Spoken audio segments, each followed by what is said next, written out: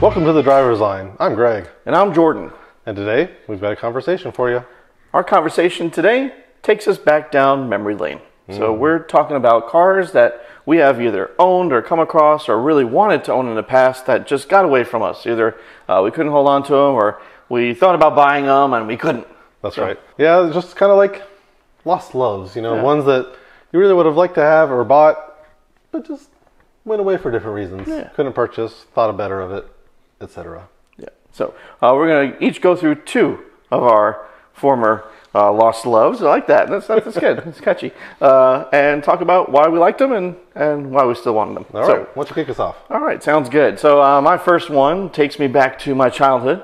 All right. Uh, What van are we talking about it's today? not a van. Although I do miss my uh, old GMC Safari. Now that you say it.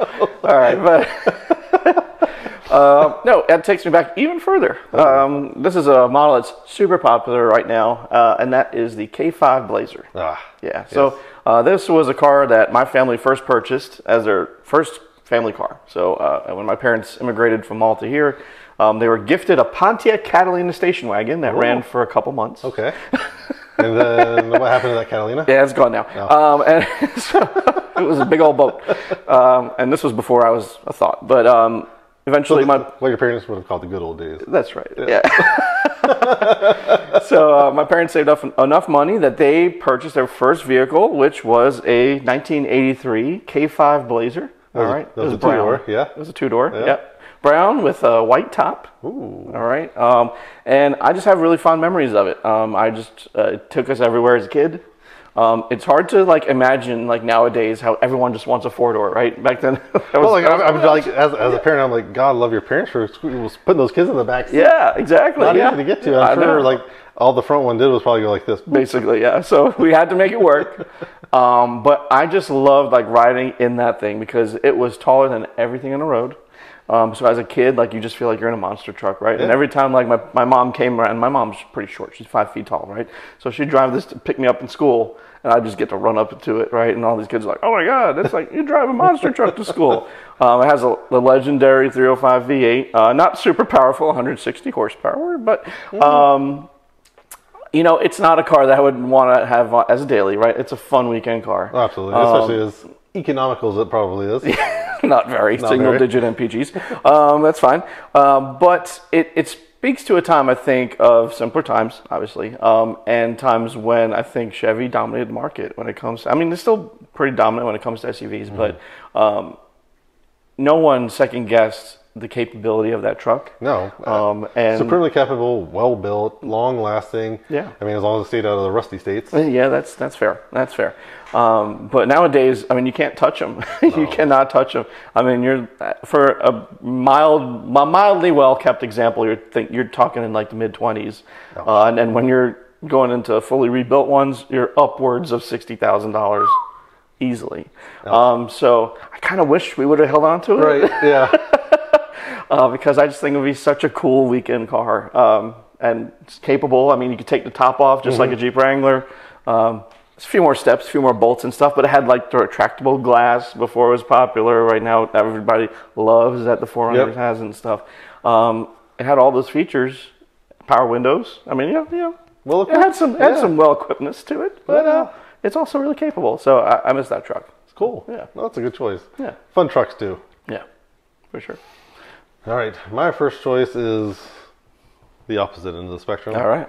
It's a vehicle that I was extremely close to purchasing, uh, probably in 2014. I think it was actually. Um, at the time, I had um, a Lexus IS 250 with the manual, Ah, yes. which was one of the worst cars I've ever had. It's, it's been featured on our podcast. It's been featured on the podcast before. Um, just completely gutless, Yeah. not fun to drive. The manual was out of a Tacoma.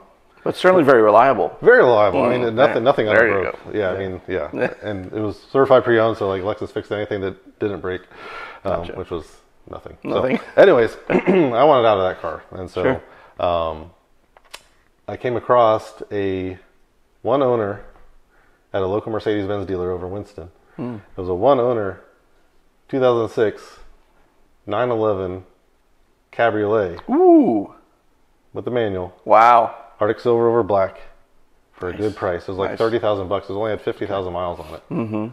Okay. And so this is again 2014. So the car was only Yeah. you know eight years old at Yeah, that yeah. point in time. Um, tremendous value, but I just couldn't get over the hump of where the numbers were. Mm-hmm. Like they just wanted to give me so little for my Lexus, and I was like, oh, Yeah. I need more than that. And so the frugal side of me won out over the fun side because if it had been a coupe Yeah. It would have been a done or deal. an S, I probably would have just been like, Screw it. damn the torpedo. and so my, my my wife was my girlfriend at the point in time, and she was even along with me for the test ride. She had to ride in the back of the Oh, cab, gosh. which those seat backs are literally vertical. Yeah, So God love are. her. She knew it's not even a full seat back. no, it's not even supposed to. And she knew what she's getting into. Yeah, that's true. From that minute. That's minute. right. So I knew she was a keeper at that point when she was right. willing to ride in the back seat Yes, of the 911 for convertible sure. that I ended up not buying. But I do regret that car because I would have mm. been able to get into the Porsches a lot sooner, a lot earlier. Again, what do you think? You know, with relatively, you know, maybe 20,000 more miles, what that 911 would pull today? That is true. About 30,000 Yeah. bucks. Yeah. Yeah. So I would have been able to own it basically for free. Yeah. Um, for all that time, and you know it would have just been a, a real, real fun car to own. But decisions were made. Uh, well, you know, decisions were made, but you never know. Could 911 could be in your future. Yeah, we'll see if we can get another one, or Yeah. well, get one someday. Not another one. Never had one.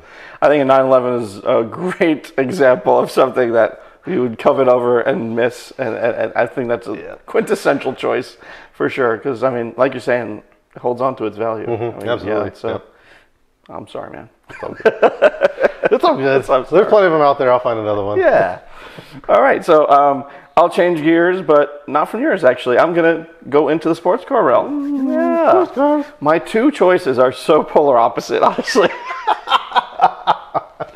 um, so when I was looking at a Miata, um, one of the other considerations I had thrown in uh, was uh, MR2, which I actually steered myself away from because it was just not it was not it. I mean, it was it's fun, but it's just too basic. This is the MR Spider, right? Yeah, the MR2 Spider, right? Um, and there's no storage in it, whatever. Um, and eventually, I landed with the Boxster S, which I love. Um, there was another option though that I was considering that I didn't get. Um, I didn't even entertain it honestly because I felt like this is just not realistic, you know. But uh, after owning uh, a high performance mid engine sports car, I kind of am curious to see if I could have done it. And it's the Lotus Elise. Oh, yeah. The Lotus Elise is a siren that sings to anybody who loves Oh. sports cars because it is the distillation of a sports car. It is down to its most basic elements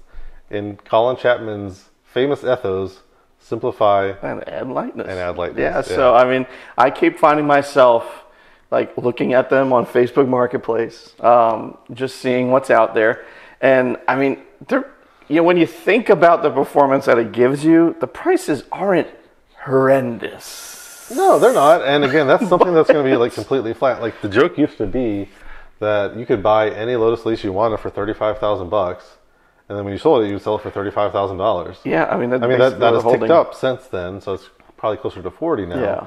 But the logic still holds true. It's a car that you can buy and own, and as long as you don't crack that fiberglass clamshell, Yeah, exactly. you're going to be good. Yeah, I mean, uh, these the the underpinnings of that car, I mean, are so fantastic. It, it comes with a Toyota 2ZZ engine, Mm-hmm. so it's going to be reliable. Um, and they look fantastic. Oh, they look, they Um, look the business, and the only really the only worry I would have driving one is how small they are. They, they are, and that is something that has come into mind because like driving a Porsche is it's a smaller car, but it's not It's not tiny. nearly as small as a Lotus. Exactly. Like I mean, the Miata is kind of the same thing, right? Yeah. Like especially the earlier Miatas, like you can get lost in the blind spot of a suburban for sure. very easily. Yeah. So um, I think it'll be fun to own, and who knows? Maybe down the road that could be a direction I go. Um, I'm just I really do enjoy the Porsche aspect of having the dual trunks and having the leather interior, and you know it, it's nice. It's How, many- how many trunks does the uh, Elise have? None. Zero trunks. So again, that's another reason I didn't pick it, right? But uh, you know, down the road, who knows? Maybe I'll have a dedicated Elise There track car. I mean, it, it's hard to argue with the Elise because I mean, again, just a fantastic car. It's on every gearhead's you know bucket list, Yeah. along with some sort of Alfa at some point. Yeah. Um, but yeah, it- it's hard to argue with that because it's a great choice. I, I've got it on mine as well. I'd love to have it at least someday. Mm-hmm. Um, there's someone over in Durham who's been trying to sell Series One at least for a while, and I'm Oh, really? like, hmm. hopefully my wife isn't watching this podcast. Well, and it's funny you mentioned Alfa because my close contender to this uh, has been a recent temptation. It was the Alfa Romeo Stelvio Quadrifoglio because that sound, I just can't get over the sound. But uh, nonetheless, Lotus eked it out just a bit. An outstanding SUV. Yeah. All right. Sticking with sports cars Hmm. is, is my second one, and this actually happened when I was looking for my last NC Miata. Hmm. Um, I was really, you know, targeting. I had like you know a budget of like you know ten to fifteen. Obviously, trying to stay cheaper um, to find a nice uh, NC Miata. So I ended up finding my NC2 for a little bit less than ten grand with only twenty eight thousand miles. Nice. which was a great purchase. Um, it was a little rough around the edges, but up you know needing some TLC. And again, I was you know I was using it for this is when we did motorsports for the masses. Right. So we did the short course driving. I was going to get it ready for track days. I was going to use it for autocross. And Perfect so for that. you know it was going to be something that was going to get beat up a little bit Right. in the process. So you know having one that was a little rough around the edges didn't really bother me that much. And you know I was able to fix a lot of the things that were wrong with it anyways. Um, Looked great. easily and cheaply, right? Yeah. Because it's a Miata. Yeah. But in the course of my shopping, I found another local car for sale, Hmm. and this was actually at a Mitsubishi dealer. Oh, Mitsubishi. I know Uh, let me guess. It was a Galant. No, because they are not they don't have good new cars to sell. They actually started buying a lot of really good used cars to try to draw people into their showrooms. No one wanted that Eclipse, huh? Yes, and so this was a 2004 Rio Yellow Honda S2000. Mm, Beautiful, beautiful car. Yeah, which is the AP2 version of the S2000, which has the 2.2 liter F22C1 engine. Mm. Still 240 horsepower, but a little bit more torque, a little bit punchier down mm-hmm. low, so you don't have to wring its neck just to get around town, which is nice. famously, yeah. Yeah, mm-hmm. and so I mean, it had every VIN tag on it, which is a big thing within the S2000 community because so many of them have been crash mm. damaged, this or that. So it had every single VIN tag matching on the car. Only 20 some odd thousand miles on it. About 24,000 bucks is what they wanted for it, hmm. which if you could buy that now, Now- you'd be stupid not to, right? Yes, for um, sure. And I even knew that then. I just wasn't looking to spend that much money on a sports car at that point in time, especially for what I was going to use it for. I would have felt terrible taking that S2000 to autocross. I would have felt terrible taking it to Motorsports Mass. I would have felt terrible taking it to track days because it was too nice. Totally understand that. Absolutely. And so it would have, it's, it's a great garage weekend car. Yeah. You can still have fun with it, but you just don't really beat on it. right, right. Um, so I, I really struggled with that decision. I was like, man, I even made them an offer. Ooh, you went Yeah, as far as that, yeah, huh? yeah, didn't, didn't, Did stick. yeah, it did not stick. Ah, it's, what it is. it is what it is, and it's fine. You know, it's all good. But I, I do think about that S2000 because I'd already had one in Simeon at that point Mm-hmm. in time, and so I'm like, well, maybe I just need to try something new. Mm. Um, but again, I, I was not at all displeased with my second Miata because it was a fantastic, fantastic No, little yeah, car. that was a great car. Yeah, I mean that S2000. I think is another one of those siren calls for It automotive is, enthusiasts, right? I think I don't think there's a single person who's into cars that does not like the S2000. Right. It's I mean, got that super cool cluster, right? I Yeah. mean, like it goes back to like the '80s with the like digital, Yes. you know, output. Um, it's got the real wedge nose shape, like almost kind of like a shark nose on Mm-hmm. Yeah, it, and just yeah.